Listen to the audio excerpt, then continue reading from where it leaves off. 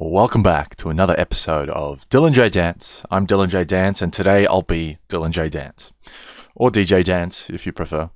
What's happening, guys? Welcome back. It's been a while. Hope you enjoy the new setup. Got a new mic, new setup, new beard, new me. Let me know down under what you think of it all. Uh, this could be a little bit better quality, but there's a bit of noise suppression on because this laptop is so damn noisy. I need a better computer. I need like a proper PC because I want to do some Twitch streaming. That's why I'm trying this sort of setup. And hopefully this setup eliminates my editing bottleneck, which I have. It, it's why it takes so long to make videos. Editing is a pain in my ass. So I'm hoping I don't have to do any more editing really with this. Um, what else did I want to get out there? Oh, I'm going to try uh, Twitch streaming. So come follow me on Twitch. I'll put the link in the bio. I want to try and do this live. You guys can ask questions or like request things to react to.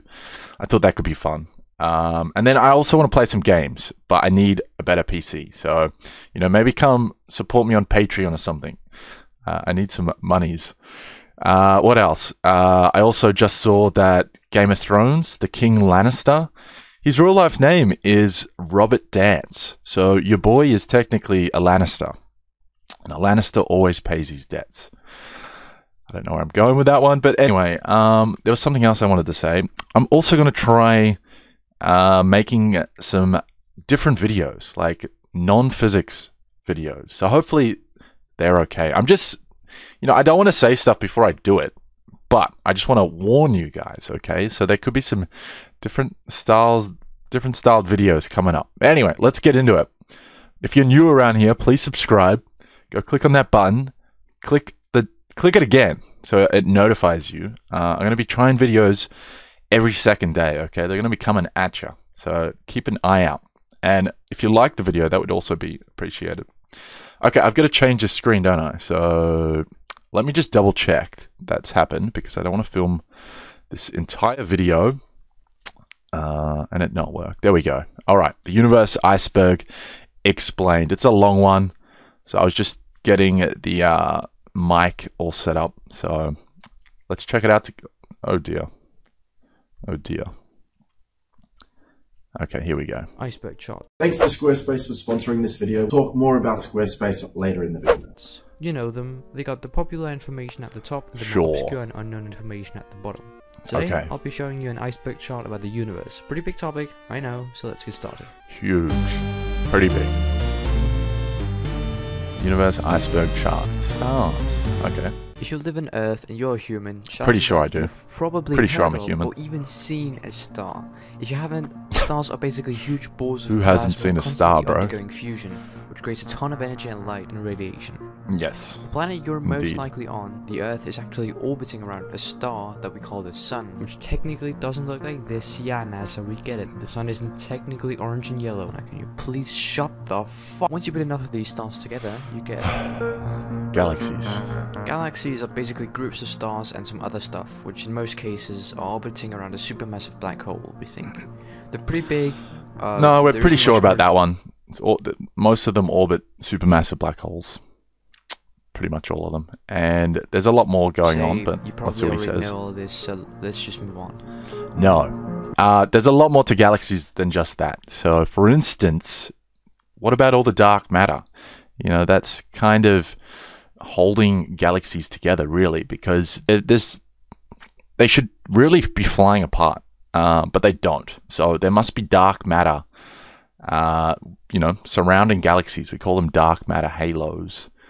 Uh, there's all these problems with galaxies, like the rotation curve problem you might have heard about, how, you know, on the edges of galaxies, it they should be rotating a lot slower than what we actually observe. That on the on the outsides, on the outskirts of galaxies, they're actually, you know, moving around the central, you know, part of the galaxy way too quick. Uh, it doesn't make a lot of sense. So there must be a lot of mass out there causing, you know, this giving this extra energy. But anyway, let's keep going. Now, chances are, if you went to school, you probably have at least heard about the Big Bang. The Big Bang is a theory no. that the universe stems from a tiny little speck of super high pressure matter, which immediately expanded into what we call the universe. And I'll talk more about this later. Good enough. Good enough. Gravity is a natural phenomenon that brings everything, matter and energy, together. If you are a thing in the universe, you have likely experienced this natural phenomenon before. In fact, you're probably experiencing it right now. Fun Well, fact, you are not Technically, that's not what gravity is, but he is on level one, so I I, I feel like he's going to get to you know what gravity really Earth, is later also on. attracting Earth to you, since all matter has gravitational pull. Newtonian physics. Speed of light. The speed of light is a physical constant of 300 million meters a second. The Uh, speed it's actually 299,792,458 meters a second. Nerd. Right. Anyway, the speed of light is according to special relativity the highest speed that matter, energy and information can travel. Yes. This means that no matter how hard you try, with our current understanding of physics, you cannot go faster than this. Why? Well, because it's also actually the speed of causality. If you break the speed of causality, things don't make sense. Things would be happening in, you know, like reverse or, you know, outcomes would be happening before there's a cause. Cause and effect breaks. That's why you can't break the speed of light. So, not many people seem to say that. The observable universe. travels at the speed of light and the universe has only been around for about 13.8 billion years, this means that there are parts of the universe that are so far that it would take light longer than the universe has existed to reach us. This It's actually most of the universe now. The spherical region that has had time to reach us is called the observable universe. As in, well, no, technically, what I said is wrong. It's like if you want to travel to most of the universe right now, traveling at the speed of light, you couldn't make it. Um, because, yes, everything is expanding and it's accelerating in its expansion. So, if you were to travel out at the speed of light towards, and this depends on which reference frame you're in, okay? Let's not get too bogged down, okay? Let's just pretend, you know, you understand what I'm saying. And, uh, yeah, so I think it's like 97 or 99% of the universe is kind of out of our reach right now, even if you traveled at the speed of light, which is kind of scary. Uh, and then at what he was talking about, the edge of the observable universe, there's stuff that's constantly crossing this region, which will be forever out of our reach. Um, anyway, Remember that Big Bang thing I talked about earlier? Yeah. Turns out it's not actually an explosion, it's more like the expansion of the entire universe itself. When we think about the Big Bang, That's not true. about a big bang. Matter condensed to a tiny little state and then exploding out into the universe. But actually, the Big Bang was the entire universe itself, and it was the universe that expanded enormously, causing the Big Bang. No, The universe This is still expanding to this day, but it's just not using word expansion in the sense that the universe is increasing in size with the middle. No, that would be way too simple and convenient. Instead, look at it like this. Imagine a balloon with points drawn onto it. Now imagine that you are a two-dimensional being on this balloon. When looking at these points, you would see every point expand away from each other. Oh, and uh, did I mention that the universe expands faster than the speed of light? So that was a good analogy. It's the one they always give you. Um, anyway, yeah, let's continue. Atoms are the smallest unit Ah, of matter. that's I was. He was talking about the Big Bang. He said a lot of stuff that's just straight up wrong. Uh, I think he's referring to inflation, which is actually, with current understanding, depending on who you talk to, uh, you know, we think it happened before the Big Bang. That's right. Something happened before the Big Bang. It's called inflation, uh, and we don't know how it began. We don't know if it began, You know, it started from a singularity. All we can say for sure is, you know, the universe inflated. According to our current understanding, okay, it inflated exponentially quickly, uh, like really quickly, and then the Big Bang occurred, which was kind of like a dumping of energy into, you know, this place that now existed somehow.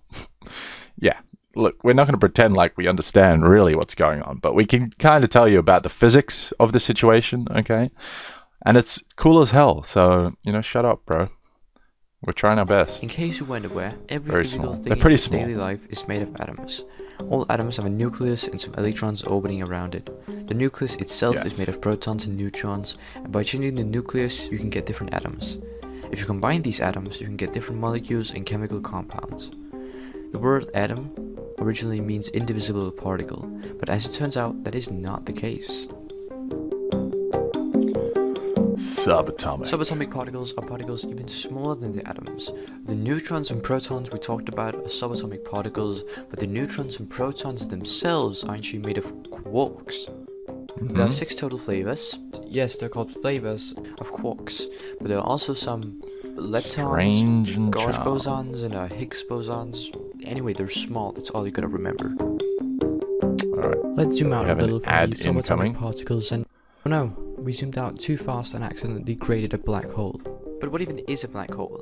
Well, a black hole What is is a a small hole? little region of space that weighs so much and is so dense that gravity is so strong that nothing can escape from it. Now I know what you're thinking.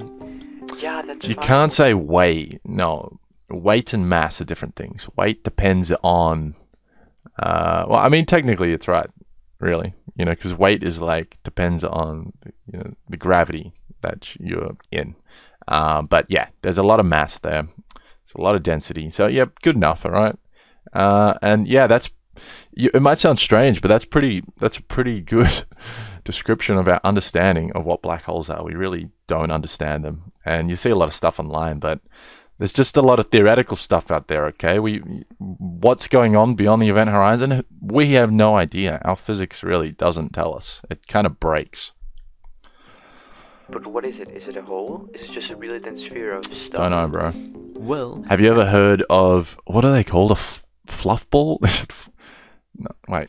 In string theory, uh, fuzzball. That's what they're called. So in string theory, uh, black holes might actually not be what we think they are. They could be these things called fuzzballs, which are like these areas where these giant strings, you know, like from string theory, uh, get all twisted and knotted.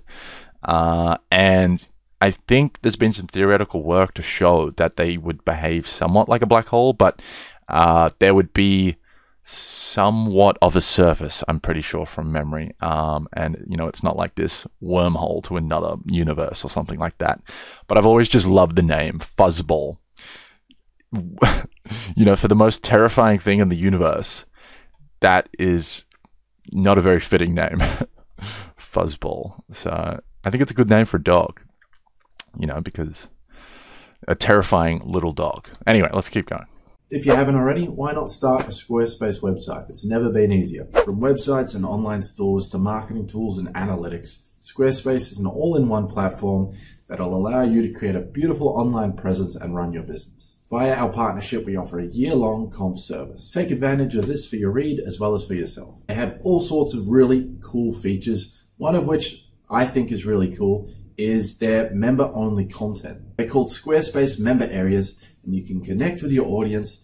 And with the content you provide on it, you can generate revenue. You can also manage your members, send email communications, and leverage audience insights all in one easy platform. Another great feature of Squarespace are the email campaigns. You can grow and engage with your audience through these Squarespace email campaigns, and they allow you to create content that matches your website your logo, existing products, blog posts, so your messaging is consistent and effective. Finally, another great feature of Squarespace is that you can collect donations. You can support your cause by gathering contributions with PayPal, Apple Pay, Stripe, and Venmo. Check out squarespace.com for a free trial, and when you're ready to launch, go to squarespace.com forward slash Dylan J Dance to get 10% off your first purchase on a website or domain. Thanks for watching, guys. I hope you enjoyed. Also, go send me some TikToks on Instagram. According to general Black relativity, holes. we have what is called a gravitational singularity. Imagine Which really just, that's not really true. You know, some of the equations in Einsteinian physics blow up, they go to infinity. Uh, so, you know, some people call that a singularity, others say that just means the equations break, you know. So, usually when you come across singularities in uh, physics, in the history of physics at least, it usually means uh, our we have some kind of misunderstanding, and then someone comes along, gets rid of the infinities, and voila, we have a new theory. But you know, in saying that, th- there is some infinities we can deal with in like quantum field theory. Uh, yeah, let's not get into that. Let's keep going. not a black sphere of matter, but a point, a single dot in space that has infinite mass and gravitational field. You Did he might say a black hole? No, he's talking Well, about that defies the rules of normal space-time. And yeah, you're right. It, it does. When you look at a black hole, you actually see the event horizon, which is the area where light cannot escape, not the black hole itself. Also, if you jump into a black hole, you will get stretched If out. you want to know where that comes from, it's just because like the escape velocity becomes, uh, you know, greater than the speed of light, which means you can't get out because you can't move through space time faster than the speed of light, right? That's what the, the the event horizon is. You know, you might be wondering like, what the hell is this region? What's so special about it? Well, that's it. You won't even really know that you've crossed it because it's like if you were to come up across it, there's nothing special happening. There's no like line. Um, but you know, you you're definitely going to die well before that. Uh, especially if it's a small black hole, there'll be enormous amounts of energy from Hawking radiation for very small black. We don't we don't know if these really small black holes exist. They might. Uh, there's a number of mechanisms by which they might exist. You know, maybe that's what dark matter is. These that there might be these things called primordial black holes that you know have, were formed you know during the formation of the universe and that are still around possibly. Uh, and then the really big black holes, they have some Hawking radiation, but it's a lot less. Uh, and the way you would die, yeah, you'd probably get spaghettified, which I'm I'm sure you've heard about. But you can't forget the heat. The, yeah. But anyway, let's keep going. This is, and I'm not even kidding, called spaghettification. Ah, ha ha. but how does a black hole appear? Yeah, I don't laugh a lot in my videos. People always get on my back. They're like, "You're a psycho, man. Why aren't you laughing?" I'm just not much of a laugh. I'm a smiler. So maybe I need to implement, employ uh, an Elon Musk. Haha. Have you ever noticed when Elon Musk in like interviews and stuff, and he doesn't really laugh. He just goes, haha. I really think he does that so people don't think he's a psychopath. Because yeah, I might just steal that. I think it's a it's a good one. So the Australian Psycho. Where did it Well, come from? once stars spin out, the energy of the fusion it was creating is no longer keeping it from imploding, and the star implodes into one of three stellar remnants a white dwarf, a Not black quite. hole, or that was pretty. It's good enough. Okay, I don't want to keep stopping this. Uh, yeah. Okay, a fine. neutron star. yeah, when the star's over a Star certain imploded mass. has about 20 25 solar masses. That's because I will, I will tell you this. It has to be over a certain mass to form a black hole uh, or a neutron star because the the more massive stars have enough mass to uh, fuse the heavier elements.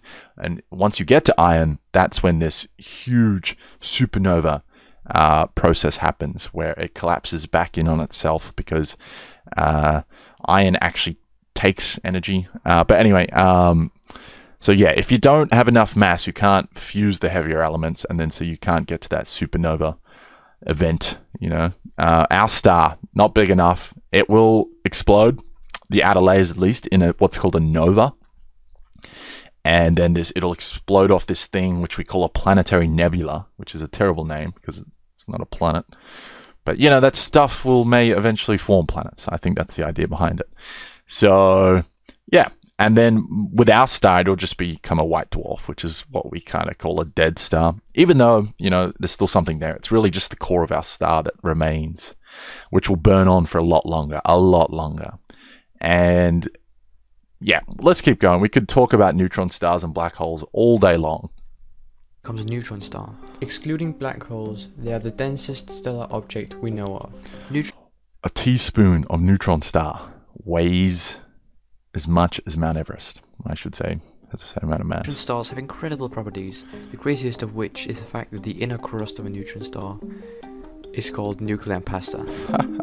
Yes. You probably neutron degeneracy pressure, where everything is so close together, the neutrons are almost touching. Uh, there's all these forces in atoms, uh, and that's, you know, if, if if you try and bring neutrons, like so they're like all touching, that takes a lot of energy. There's a lot of strong forces that stop that from happening. And then if you go beyond that, if you if you push the neutrons so they like start overlapping into each other, well, that's how you get a black hole, and it just like everything breaks. And the universe is like, nope, not doing that. by the planets of the inner and outer solar system, but it may surprise you to hear that there are actually a ton of other objects in our solar system. Objects that are further than Neptune are called trans-Neptunian objects. The most popular of these is the exoplanet Pluto, but there's also the dwarf Pluto. planets Eris, which is more massive than Pluto, Haumea, which is formed like a potato, and Makemake, which has an average temperature I haven't heard of 40 that one. And the last two were discovered Kelvin? in 2004 and 2005. Potato Makemake. Theory of The relativity. theory of relativity is a theory that What you've level are likely we heard at? about before. Level the theory two. of relativity is comprised of the special relativity theory and the general relativity theory. Okay. Let's start with special relativity. Special relativity is ah, based on two postulates. 1. All of physics are identical for all frames of reference if they are in constant speed. Imagine you're on a train. When the train starts, you can feel that you're pushed back into your seat, but once the train is at a constant speed, you're not really being pushed around. What you feel is not the speed of the train, but instead the acceleration of the train. Right now, you're on the surface of the Earth. At the equator of the Earth, the Earth's rotation is about 1670 kilometers per hour. But because the speed of the Earth's rotation isn't changing, we don't feel it. 2. The speed of light in vacuum is identical for all observers regardless of how the source is moving. Explaining speed of light is constant. complicated. Basically, the speed of light is a constant, and this was revolutionary at the time. Here's a full explanation. If you're interested, you can pause the video and read it. Oh, and by the way, this violates Newtonian physics, because why not? The second Sure theory does. of relativity is the general relativity theory. The general relativity describes gravity and is our current interpretation of gravity in modern physics. The general relativity theory essentially states that spacetime curves when there's matter, energy, and momentum, creating gravity. When he says So creating apparently gravity, it is gravity. The curvature of space time itself is gravity. Scientists were looking around in space and were like, huh, it looks like there should be around five times more matter here. Otherwise, the galaxy would just fly apart. Hmm. As I was saying. Maybe there's actually matter, but we can't see it. What? What are you trying to say? Maybe this matter we can't see is in a way dark, so we can't see the matter. Sure. You know? What the hell are you talking about? so a new theory was born. Yeah. Dark matter is thought to account for about 85% of all matter in the universe, and is more of a theoretical type of matter rather than an actual one we've discovered. If it does exist, it is a form of matter that pretty much only interacts I'm not sure I'd say theoretical. Like there, there's a lot of evidence for it that we can measure through the because it interacts uh, gravitationally. It doesn't interact with any other forces, uh, so that's why it's invisible. It doesn't really interact with electromagnetism at all. But anyway, any day now. radiation and other matter through gravity, making it fairly exceptional and unexplainable. Cool guy award. Dark matter is not to be confused with Dark energy. the theory of dark energy, similar to the theory Straight of out dark of matter, Star seeks to give an explanation to the missing energy in the universe. Dark energy is said to contribute to 69% of all energy in the observable universe. And 69. unlike dark matter, we have observed evidence of its existence from measurements of supernova.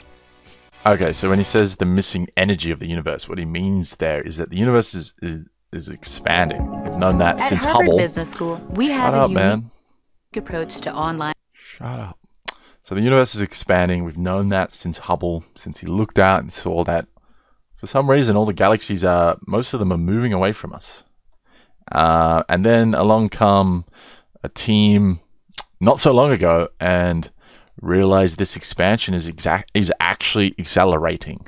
And so to explain this acceleration, we just invented this thing called dark energy. And in theoretical physics, it does kind of nicely pop out uh, of some stuff, you know, Einstein kind of showed. Anyway, we're not going to talk about this. You've probably heard it, all about it. I don't want to talk about things you probably already know. So that'll do it, okay? Oh, You've probably already heard of antimatter before. Yes. It's often mentioned in science fiction, but what is it? it's completely Well, real. antimatter is matter composed of antiparticles. I'm kidding, I know this isn't very descriptive. Look at it like this. Every particle has an antiparticle with the exact same mass, but with the opposite charge. But what does it have to do with antimatter? Well, as I said earlier, antimatter is matter made exclusively out of these antiparticles. Mhm. But here's the cool stuff.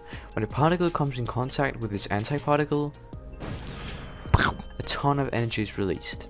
This explosion is remarkable because the amount of energy released proportional to its mass is the highest amount we have ever observed. To understand why it's remarkable, you must first understand E equals mc squared. You've likely seen this equation before, and it basically states that all mass equals an amount of energy. This means that, in theory, 1 kilogram will always be equal to an amount of energy, regardless of where that mass comes from. So if you still think antimatter is kind of like sci-fi, well, have you ever heard of a PET scan? No, not something you scan your pets with. They're at uh, doctors use these, uh, you know, some like medical devices. Then you know, like MRIs. They're not like MRIs, but I'm just saying, you know, you've probably heard of an MRI. Uh, and PET. It's I'm pretty sure it stands for like positron electron tomography or some shit. Anyway, it's using antimatter concepts. Okay, positron. Positron is an antiparticle, antiparticle of an electron. This means that 1 kilogram of dirt and 1 kilogram of enriched uranium is equal to, on paper, the exact same amount of energy. The only reason why enriched uranium is what we're using to power our light bulbs is because it has certain properties that makes it easier to do so, but that's it. That is, in this context, the only thing that separates the two. The big hmm. challenge when it comes to generating electricity is that it is that. hard to extract energy out of matter. We typically end up with very small amounts of energy compared to the amount of mass we put in. Let's take coal for example. One kilogram of coal gives back the equivalent of this much kilograms of energy, which means that about th- this percent of its mass gets converted into energy. That's a lot of zeros. Hmm. Uranium has an efficiency of 0.1%, which although much higher is still not much mass getting converted into energy. This is where antimatter is interesting, because it has an efficiency of 100%. Mhm. But unfortunately, it currently requires way more energy to make antimatter than you get out of it. Mm-hmm. That's like a trillion dollars. Wormholes are theoretical shit. structure or I don't think I can't remember if that's correct, but yeah, it's very hard to make. We don't have. You have to isolate it from you know normal stuff. So good luck with that. which connects different points in space. When we think of the universe, we often think of some flat plane or some three-dimensional cubical box, but that might not be the case. If the wormhole theory is correct, a wormhole would be able to bend space-time in the fourth dimension. But since it Wormhole theory. It's not a thing. It just comes out of uh, general relativity. hard to imagine a four-dimensional universe, let's imagine that the universe as we perceive it is two-dimensional instead of three-dimensional. Let's say that we have two points and we want to travel from here to here. But that's a pretty far trip. Luckily, scientists in this universe have been able to create a wormhole and in this theoretical example, the wormholes would essentially bend the universe into the third dimension, like so, connecting two points. From our perspective, since we see the universe in two dimensions, it would look like a Every sci-fi movie ever. basically Yes, transporting us to the other side of the universe. If you add one more toothbrush wormhole. dimension, you have a simplified version of the wormhole theory. okay. So inaccurate, but whatever, man. Epochs are a way to divide Whatever. the history of the universe into different epochs. As we talked about earlier, the universe began with the Big Bang. Here begins the first epoch. In the beginning, we had the very early universe, which itself is comprised of six epochs. The very early universe was very weird, and the fundamental forces of the universe were combined together. At this point, we're in the early universe. The universe is full of super hot quark plasma, and the quarks turn into protons and gluon plasma. After approximately two minutes, nuclear fusion starts Sounds to like a occur, good name for a drink, doesn't it? neutrons are making new atoms. Then, uh, not much. After about 100,000 years, the temperature finally allowed for some of the first molecules. There was a lot of stuff in between then, the by the way. 200 to 300 million years, the universe Wow, what we call okay. the Dark Ages. Just Right until gonna- the first stars started to appear, which meant the creation So he just skipped over when the microwave background radiation was released, but we'll skip that um, because I've talked about it a lot in previous videos. But that was an important point. a ton of new different molecules. After about 700 million years, the first galaxies started to pop up, We think and among these were ours, the Milky Way. because it's a massive. About 9.2 galaxy. billion years after the Big Bang, There's a lot of born. still stuff uh, we don't know surrounding all those early periods, but with that new telescope, James Webb, hopefully it can uh, you know shed some light, open a new window to the universe, and we might be able to see the very first galaxies and the first stars. Uh, because yeah, we really don't understand how some of these galaxies got so big so quickly, and how some of these supermassive black holes within these super big galaxies got so big so quickly as well. We don't understand it. It kind of defies our understanding of physics. and the rest is history. Hmm. What a story, huh? but what happened before and after the Big Bang? Greatest story ever told. is, no one knows what happened before the Big Bang, and we can only guess what will happen in the very distant future. I do, but if I told you, I'd have to kill you. There are lots of different guesses as to what could happen. Let's go through them. The first You're gonna is die, that bro. the expansion of the universe will eventually reverse. This theory is called the Big Crunch, and it essentially states that our universe will contract all the way back and the Big Bang will repeat. A more specific version of the Big Crunch is the Big Bounce theory, which says that this sequence will repeat indefinitely. The second, more widely accepted theory of the universe is that the universe won't start contracting. This can either mean one or two things. One, the universe will keep expanding at an ever increasing rate like it does right now, and eventually events like the Big Rip will occur where the universe will have expanded so much that all matter down to the quantum scale will be ripped apart. Also, the Big Freeze where the expansion of the universe will gradually slow down until all energy in the universe will be evenly distributed.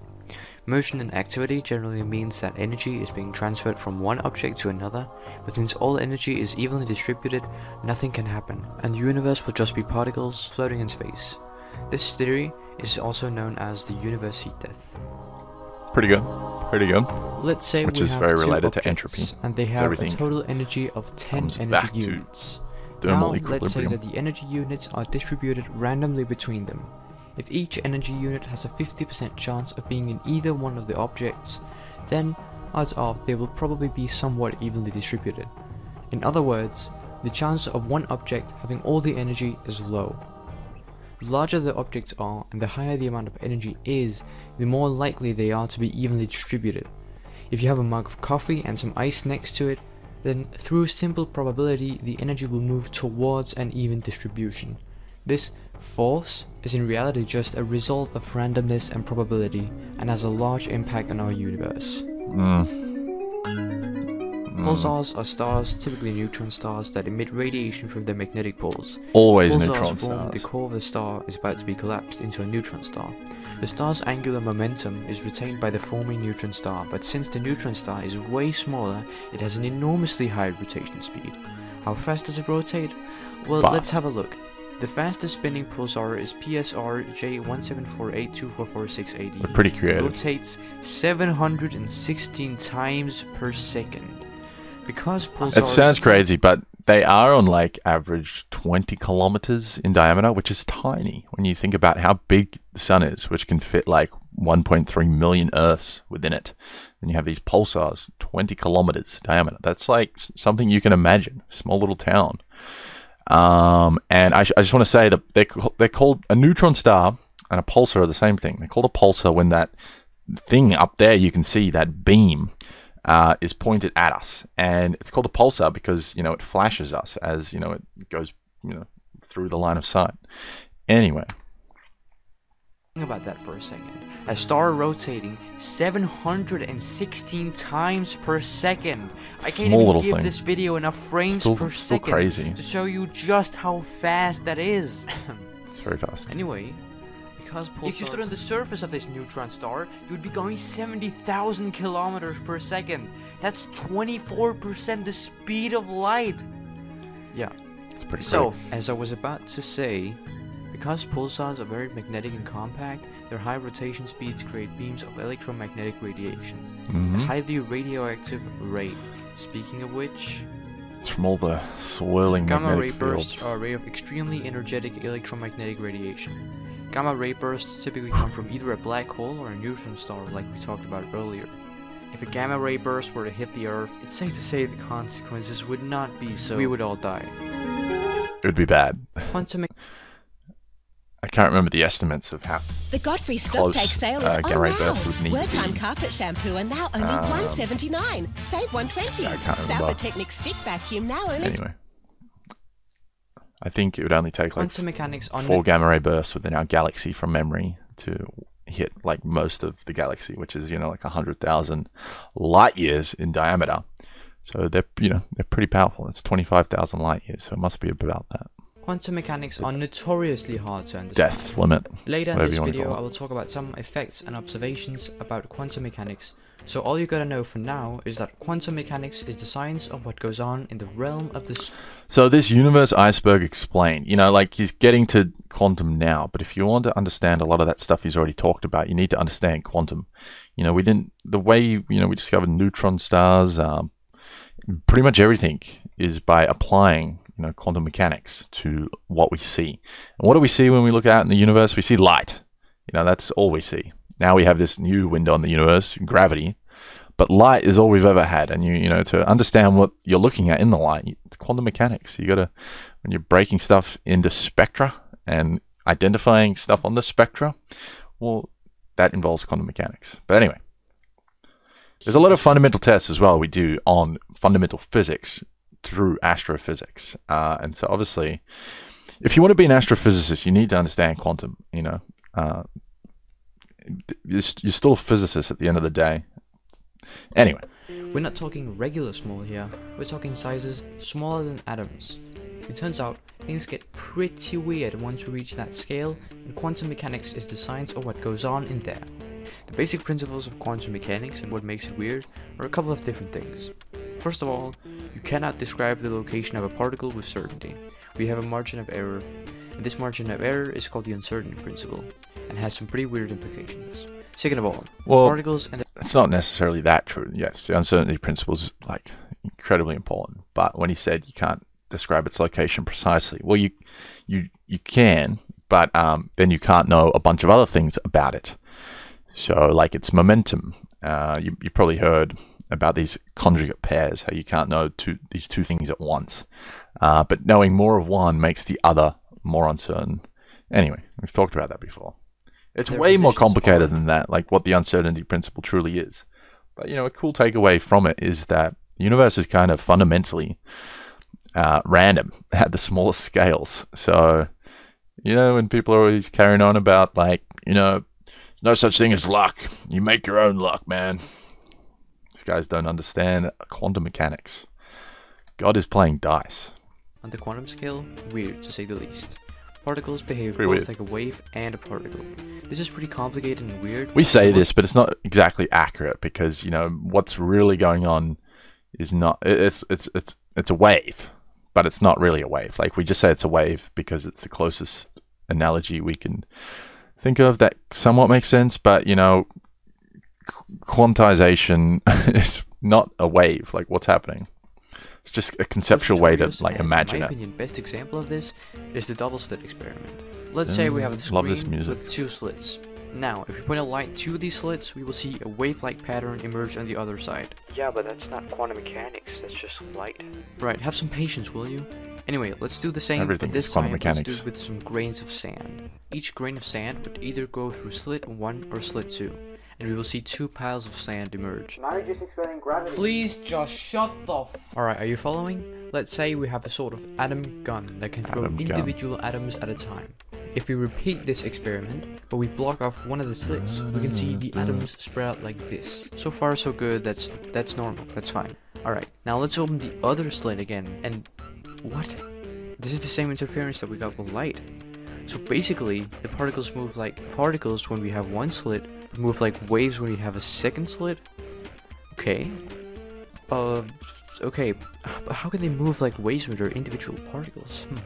Let's try launching one atom at a time, and this time we will put a detector on one of the slits that goes off every time we detect a particle.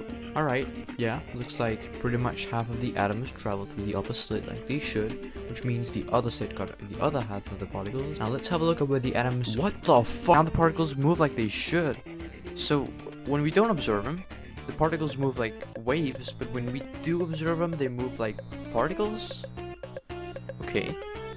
Well, what if we trick the atom and leave the detector there, but this time we turn it off, so they will go through the detector, but we won't actually observe them. I mean, surely they would still behave like a particle and not light unless they're essential. What the f- Basically, particles move like waves and not like particles, but the moment we start observing them, those bastards start behaving and move like particles like they should. Now, you might be asking yourself, Okay, Where's the conclusion? Why does why does this happen? What's the punchline? And the truth is, we have absolutely no fu- Some people have, however, No, we do. come with different theories and interpretations of quantum mechanics.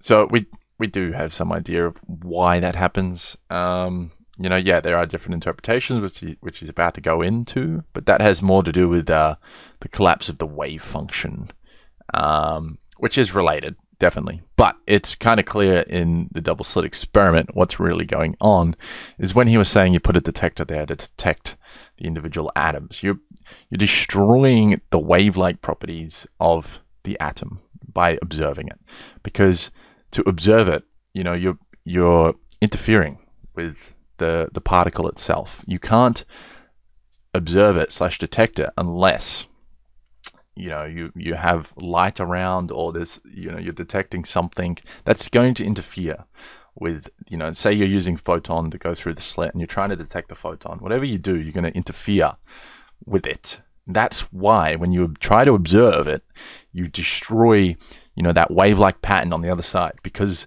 you've destroyed its wave-like properties by trying to observe it. And you know that comes back to uh, quantum mechanics and anyway so that's really what's going on. But there is other interpretations as well. You know in quantum mechanics uh, these things when you look at the actual math behind it these things have a, a, a complex part. Uh, sorry they're described with complex numbers. So there's a real part and an imaginary part. And so you can kind of imagine that when these particles you know go through one slit you have the imaginary part interacting uh, or getting destroyed when I say getting destroyed, I mean like constructive and destructive interference. Uh, anyway, we let's not try and explain this; it's going to take too long. But yeah, just know that what he said is, you know, it's not as mysterious as we can't as, it seems. You know, we, we're pretty sure that just by observing this stuff, you're destroying the wave-like properties, and this ch- all changes again once you get to quantum field theory. There's a bit more to it again, and then what he's about to talk about is really interesting. These interpretations. But anyway, let's keep watching. Let's have a look at some of those. So, quantum mechanics are weird and there are a bunch of different interpretations of quantum mechanics. Let's start with the most popular ones. 1. The Copenhagen interpretation. The Copenhagen interpretation essentially states that particles travel through like waves until they 20. hit something, in which case they collapse back into the particle. The theory also explains the results of the double slit experiment I explained earlier, since as soon as the particle hits something, like a detector, it collapses from a wave into a particle. The Copenhagen interpretation is the most widely taught explanation to quantum mechanics, but one Yeah. question remains unanswered. How does it collapse from a wave into a particle? 2. The many worlds interpretation. Unlike the Copenhagen interpretation, the many worlds interpretation says that the particles don't collapse from waves to particles when measured, but instead, all possible outcomes of the particle's location happens in different timelines. This is pretty complex, but has some potentially wild implications. These two interpretations are currently the most popular interpretations of quantum mechanics, but there are also some more obscure ones, like hidden variable theories, which state that the quantum entanglement That cannot be one possible. is pretty much gone. Then we also have QBism, also known under the more boring name quantum Bayesianism. We have quantum Darwinism, cool. transactional interpretation, and a lot more that I won't get into. One of the Basically, big we have with no quantum idea. mechanics has been trying to link the world of quantum mechanics with the rest of physics. If you one day succeed and find a theory that works in both the quantum world and the classical world, we'll have a theory of everything. String theory is an attempt at just that. And here's an introduction. The nucleus of an atom is made of protons and neutrons. Protons and neutrons are made from quarks. But then what? What is the quark made of? Well, string theory proposes that we could see particles not as colorful balls as they're often depicted as, but instead as strings. When we talk about particles, we often talk about them like they're points. But that doesn't really work well with mathematics. But what is more complicated than a zero dimensional point? A one dimensional line, a string. And this is where the idea of string theory comes from. Under the theory, particles would be strings vibrating at different frequencies, which determine what particle they are. Unfortunately, string theory requires 10 dimensions to work, and it makes it hard to actually function in practice. But the reason why researchers are still actively trying to make it work is because of how well the math works. If we find a way to make string theory work, it would add gravity to quantum mechanics, something that has been incredibly hard to do, and we could perhaps finally have a theory of everything. There's a lot we could say there Look at the math. and the previous stuff. It's um. Yeah, it is very I mean, it's de- it's definitely something. I mean, things in the universe tend to want to achieve a stable ground state. They want to have as little I'm just energy as completely possible. zoning out. What Imagine was you have a ball on a hill. The ball's potential energy would be high, and so the ball would not be in a stable position. Pushing would just release its energy easily, but once it has reached a more stable vacuum, place, okay. pushing the ball would just make it roll back. This tendency for things in the universe to want to reach a ground state is present pretty much everywhere, even for particle fields. Okay, let's go back to the ball example. Let's say the ball hasn't actually achieved the lowest possible state and is instead in a hollow on a slope. If you were to push it just slightly, it would roll back like usual, but if you pushed it harder, it would roll down even further. This phenomenon can happen in the world of particles as well, and is called metastability. Here is where it gets wild. You see, researchers think there's a That's chance meta, that we're living in a false vacuum. In other words, we live in a state where the quantum fields are not at their lowest point. If Love how he just chucks that in there. Quantum fields. Maybe he should have, mm, you know, talked a about state quantum fields. less energy, it could trigger a chain reaction, and the area with the new vacuum state could start inflating. The consequences could be enormous. Some scenarios could still support galaxies, stars, and life, but some scenarios predict that it could mean a complete destruction of all matter, and maybe even cause the universe to implode. But don't worry, it can happen at any time without warning. Moving on. Sometimes, That's a real for thing. no reason, there's a random change of energy in a random point in space. This is called quantum fluctuation. Now, you might be saying, Well, that disobeys the laws of conservation of energy. yeah, it actually doesn't. You can pause the video if you want to find out why. Anyway, this essentially results in a particle hopping into existence that is almost immediately cancelled out by its respective antiparticle before we can measure it. So it's this not really happening. It's called a virtual particle. Well, how do we know if they exist then? Well, the Casimir effect supports their existence. So yeah, this isn't really what's happening. These virtual particles don't actually exist. Um, it's just like this mathematical construct that we use in particle physics to, you know, get the physics to work. It's just like a conceptual way of thinking about uh, the really complicated mathematics. Uh, it, they're, they're not actually real. So sorry to break it to you. and all the explanations that use them are simplified. So it's like when Hawking describes Hawking radiation via virtual particles popping in and out of existence on, you know, the borders on the event horizon. That's not really what's happening. It's more to do with the wave-like uh, nature of particles, and it's it's really not any more complicated. It's just not as like simple or like you know just easy to understand. So I think that's why people like to feed you these lies. But anyway, virtual particles. One of the big results of these quantum fluctuations is That's why they're called virtual. Say you're at your local black hole just vibing, and then all of a sudden a photon So yeah, when we say things popping in and out of existence, we're lying. due to quantum fluctuations. No big deal. It should disappear immediately before we are able to measure it. You think to yourself, before realizing that Oh no! The antiparticle that was supposed to cancel it out has unfortunately been absorbed by the black hole. The phenomenon that has just occurred is called the Hawking radiation. The amount of energy emitted from the black hole Just Hawking talked about radiation this. is lower than the amount it absorbs from cosmic radiation. It's not but in a very happening. long time, the black holes will likely start to evaporate completely due to Hawking radiation, and we will likely have what is called the heat death of the universe, where all energy is evenly distributed and nothing can happen. Luckily, supermassive black holes with a mass of one galaxy will take 10 to the power of 100 years to completely evaporate.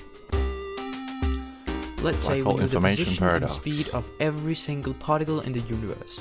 Could we use this to figure out exactly what has happened in the universe prior to this point? No. The short answer is yes, since if we know everything No. about every particle, we would be able to calculate exactly how it got to that point. It's not true. However, that you might say, quantum mechanics says you says no. Okay, you can't do that. This assumes that every action that has happened can be calculated back to exactly one state. What if somehow an action had multiple prior states? Couldn't we force two particles onto the same state? Well, as PBS Spacetime's Dr. Matt so wonderfully put it, Quantum mechanics forbids this. all information about a particle is encoded into its wave function. In other words, information about a particle is guaranteed to be conserved. This is what we say when we say that quantum information cannot be deleted. It is a pretty big part of quantum mechanics. Information is indestructible. Or is it? Calculations suggest It's more simple than that. The reason you can't, if you had the position of every particle and you couldn't, why you couldn't, you know, just rewind the universe in a simulation is because of the uncertainty principle. There is randomness inherent to the universe, so you can't run it back because there's some random shit happening. somehow disappear and get deleted in a black hole. This phenomenon is known in the scientific community as something that really does not make any sense. Why? Because we know black holes evaporate eventually. So if you know if black holes are swallowing information, uh, and then they just evaporate and disappear, it's like where did that information go? It just literally disappeared, and that violates the conservation of energy.